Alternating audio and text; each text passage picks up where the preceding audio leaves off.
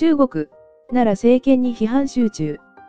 ウイルス封じ込めたというが、台湾発信中国から遺体袋20万個、しかも支給で要求された。ザックザックより引用川添恵子氏が寄稿。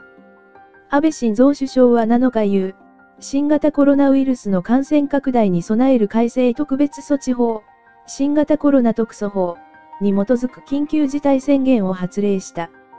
対象地域は東京、神奈川、埼玉、千葉、大阪、兵庫、福岡の7都府県で、期間は当面、1ヶ月程度。都市部を中心に感染が拡大し、医療崩壊が懸念されるため宣言が必要と判断した。こうした中、死のウイルスへの初動対応に失敗し、隠蔽が指摘される中国に対し、世界中で批判が噴出している。中中米国大使館による中国共産党のプロパガンダ、政治宣伝、批判と、台湾から発信された中国で遺体袋20万個発注報道、なら近平国家主席をめぐる権力闘争の動きとは、ノンフィクション作家、川添恵子氏による緊急機構第9弾。中国の国営メディアは独立した信頼できると世界に思い込ませたいのだろうが、それは違う。北京にある中中米国大使館の公式ツイッターが2日、中国メディアジャーナリズムかプロパガンダかという中国語のメッセージを出した。冒頭の言葉に加え、以下のように記されていた。中国国営メディアは、共産党に都合のいい宣伝を広めるためのツールであり、従業員は共産党のために奉仕している中国人を管理し、世界中のメディアと世論に影響を与えようとする手段の一つに過ぎない。奈良主席は、海外の技術系企業を通じて、ネット上で、奈良市や共産党に都合の悪い、特定の単語を禁止し厳しく検閲するなど、自由な発信や情報収集ができないように締め付けを強化した中国政府は昨年、世界のどの国よりも多くのジャーナリストを投獄した。さらに、中国中央テレビ、CCTV など、複数の国営メディアが名指しされた。マイク、ポンペオ米国務長官が先月、我々は中国共産党に対し、報道の自由を尊重するという約束を直ちに履行するよう強く求めると語ったことと呼応するのだろう。これに対し、中国共産党は反撃に出た。中国外務省のカハル英報道官は、中国人学者100人の公開書簡として雑誌外交マナトに掲載された内容を取り上げ、我々はみんなウイルスの犠牲者だと強調し、国営メディアやツイッターのアカウントで大量に拡散したのだ。とはいえ、苦虫を噛んでいるかもしれない。欧米や台湾の指揮者や著名人らが、勢いづいて自由かつ立ち、活達に発信しているためだ。台湾発信中国から遺体袋20万個発注。台湾の大手新聞中国時報の元中国駐在記者で、現在はテレビ番組の司会も務める低広重氏が先週、著名な葬儀屋の息子にインタビューした以下の内容は、柴田区間に反共産党系中国メディアに拡散された。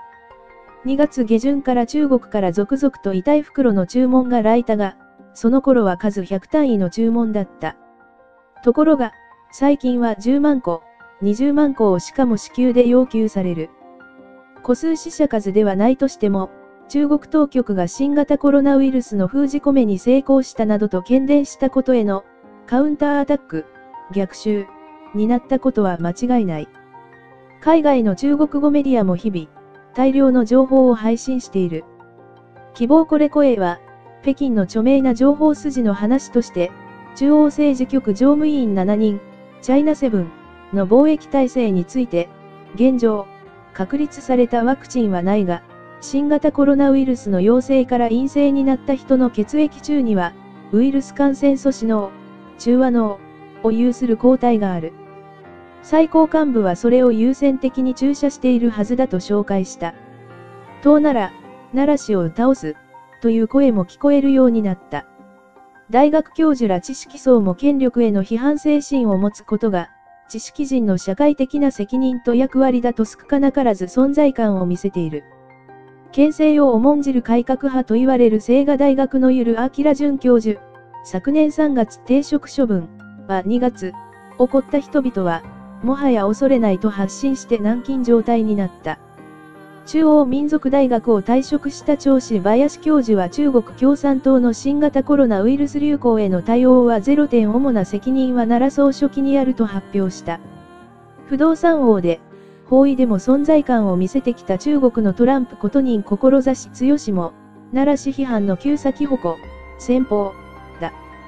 彼が注目されるのは、大木山国家副主席、前序列6位。と北京35中学の同級生であり、長く親しい間柄にあることも無関係ではない。第一次奈良政権、2012年11月、では、奈良市と大宇治はタッグを組み、虎もハエも叩くという反腐敗運動を展開し、汚職官僚らを次々に刑務所に送り込んだ。その鉄腕コンビに異変が起きているのだろうか。認死には、失踪の噂もある。最高幹部の足並みの乱れを否定する意図なのか、奈良市と大宇治が揃って植樹に参加した様子が3日報じられた。